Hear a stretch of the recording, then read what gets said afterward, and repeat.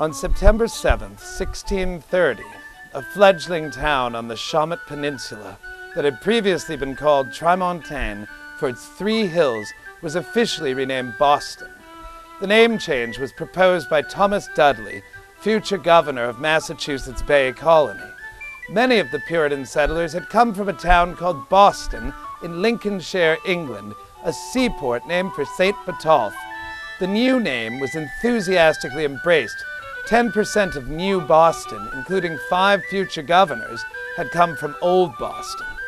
The day on which the town was renamed and also established as the capital of the Commonwealth is celebrated to this day as Charter Day.